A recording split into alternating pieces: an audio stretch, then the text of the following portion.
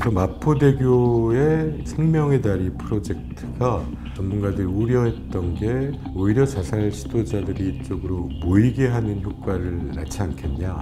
실제로 자살 시도자가 증가한 바가 있었거든요.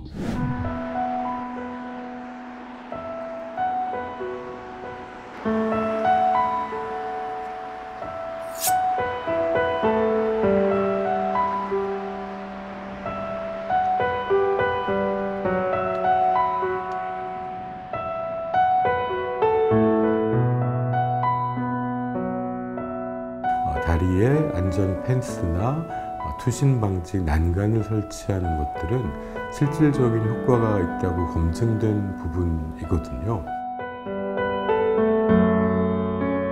자살을 생각하는 사람들도 어, 마지막 순간까지 죽음의 이유와 삶의 이유를 동시에 생각합니다. 어, 수단의 접근을 어렵게 했을 때 우리가 한 번 더 그 사람을 살릴 기회를 가지게 되거든요.